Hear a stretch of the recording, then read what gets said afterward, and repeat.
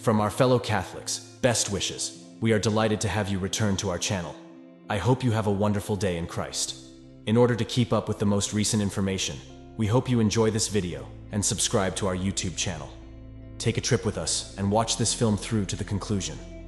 Many people look to old prophecies, saints' messages, and future visions for direction and solace during uncertain and chaotic times. The prophecy of the three days of darkness, ascribed to Saint Padre Pio, one of the most venerated individuals in the Church, is one of the most dire and enigmatic warnings in Catholic tradition.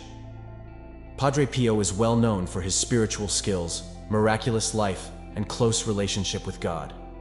His prophecies still astonish and worry people today. Among these, the three days of darkness is particularly noteworthy as a potent reminder of the necessity of repentance, spiritual readiness, and a warning that difficult times might be ahead.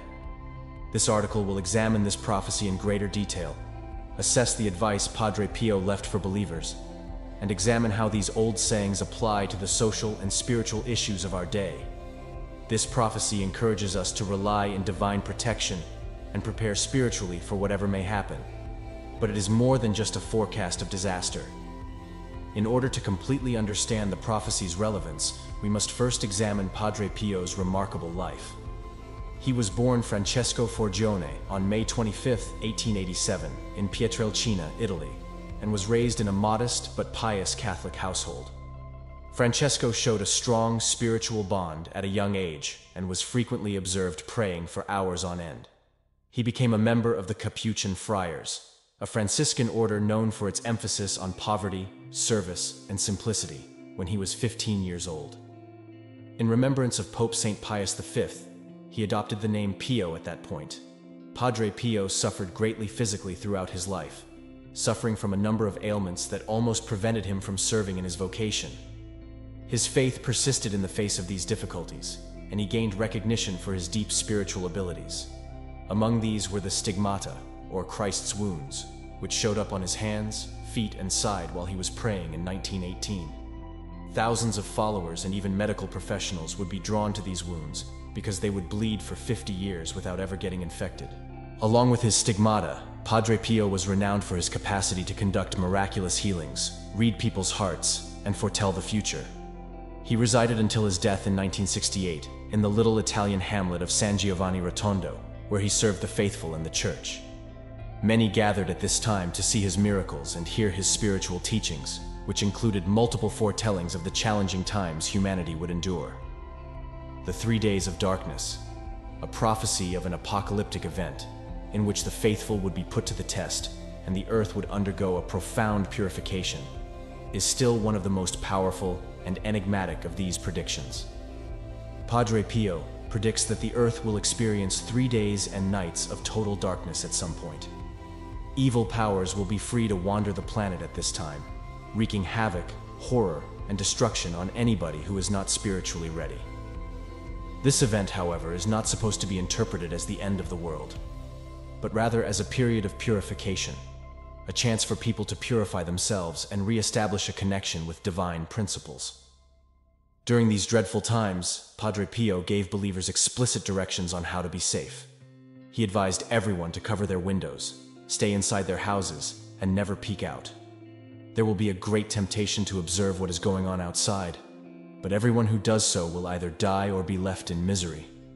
During these days, the sole light will come from blessed candles, which will burn constantly as long as people have faith. As a defense against the powers of evil, people are also urged to pray constantly, particularly the Rosary. The worst of the devastation will not befall those who pay attention to these warnings and continue to live in a state of grace after confessing their faults and turning from them. After the three days, they will awaken to a world that has been changed by God, purified of wickedness, and prepared for a new age of harmony.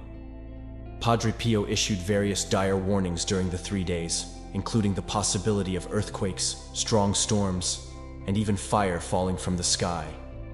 Cities will be demolished, and the turmoil will engulf people who are not spiritually prepared. But the faithful who stay in their houses, praying and believing that God will protect them, will make it through this ordeal and see a new world come into being. Even though the three days of darkness prophecy was revealed many years ago, its significance in the modern world cannot be understated. The problems we confront today seem to be similar to the societal difficulties Padre Pio forewarned about. Moral deterioration, political conflict, socio-economic disparity, and rising evil. The spiritual darkness that Padre Pio forewarned would lead humanity astray is reflected in the divisions, wars, and growing disrespect for human dignity. The extreme political divisiveness that exists in many nations today is among the most obvious indicators of this spiritual decay. People are more ideologically split than ever before, and the incapacity to have polite conversations or look for points of agreement has resulted in a great deal of hatred, violence, and fury. Padre Pio cautioned that these darker tendencies take over and cause chaos and devastation when people reject the values of justice, peace, and reconciliation. The extreme economic disparity that exists in many countries is another problem that reflects Padre Pio's predictions. The gap between the rich and the poor is growing in developing nations like Brazil, where a small minority amasses enormous wealth while millions of others struggle to meet their fundamental requirements. According to Padre Pio, ignoring the weakest members of society is an outright violation of divine justice and will eventually result in God's wrath. He believed that when society ignores those in need, it encourages moral and spiritual deterioration and adds to the chaos that will precede the three days of darkness. Another contemporary concern that seems to echo Padre Pio's caution is corruption, both in public and private institutions. In their schemes to enrich themselves at the expense of their people, leaders who are supposed to lead their communities with integrity frequently succumb to greed and selfishness. Padre Pio claims that because it drives people away from justice and morality, this pervasive corruption is a major contributing factor to the coming of divine chastisement. Aside from these political and economic difficulties, another indication of society's moral deterioration is the rise in violence in many cities worldwide. A culture that has deviated from its spiritual principles is seen in the rising rate of violent crime and the growing disrespect for human life.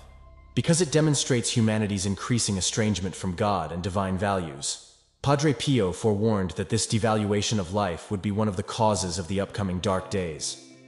The pervasive acceptance of actions that were once deemed immoral is much more concerning. Moral deterioration has increased as a result of society's growing acceptance of values that contradict traditional spiritual beliefs. According to Padre Pio, this change in societal perceptions portends the spiritual gloom that would necessitate purification. Even if the prophecy seems frightening, there is yet hope. The darkness will not continue forever, Padre Pio made clear. A new period of peace, harmony, and rekindled faith would dawn after the three days of trial and purification. The darkness is a chance for change and development, rather than something to be feared for those who are obedient and spiritually ready. In addition to foretelling catastrophe, Padre Pio's prophecy also calls for spiritual rejuvenation. It serves as a reminder that everyone has the chance to take stock of their lives, confess their transgressions, and realign themselves with the principles of God. The three days of darkness test one's faith, as well as one's ability to survive. Those who pray consistently, believe in God's kindness, and uphold their spiritual values will come out of the shadows into a world that has been restored and purified of evil. The prophecy also reminds us that light always follows a time of darkness. The three days of darkness will give way to a fresh start, much like night gives way to morning. A world that has been cleansed and changed by divine intervention will dawn for the devout, providing a new beginning for humanity to live in line with God's desire. Padre Pio emphasized both physical and spiritual preparedness in his explicit advice on how to get ready for this terrible event.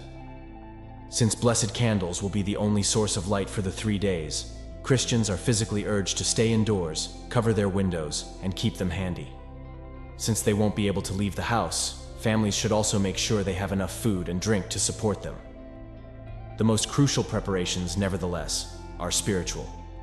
Regular confession, communion, and a strong dedication to prayer, particularly the Rosary, were all stressed by Padre Pio. These devotional deeds will act as defense against the demonic spirits that will prowl the planet throughout this period. Additionally, he urged believers to come into this time in a state of grace, having confessed their faults and given their everything to God. The three days of darkness prophecy represents the spiritual purification that humanity must go through, in addition to being a warning of impending physical devastation. It is a period of introspection, confession, and change. The time of darkness will result in spiritual rejuvenation and a closer relationship with God for those who stay committed. It becomes evident that the prophecy of the three days of darkness is more than just a prophecy of disaster as we consider it. It is a strong appeal for spiritual rejuvenation, imploring us to examine our lives, confess our transgressions, and reestablish a connection with divine principles. Despite the terrifying darkness, Padre Pio's message is one of hope. He serves as a reminder that light always triumphs over darkness. A new period of peace, harmony, and spiritual rejuvenation will begin after the three days of darkness for those who believe in God's mercy and hold fast to their faith.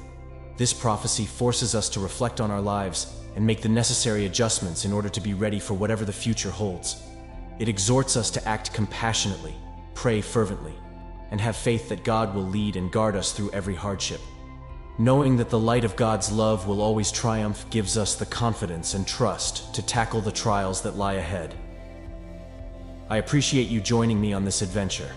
This investigation is significant and powerful because of your participation and presence. May the shared tales of our human experience inspire and uplift you until the next time.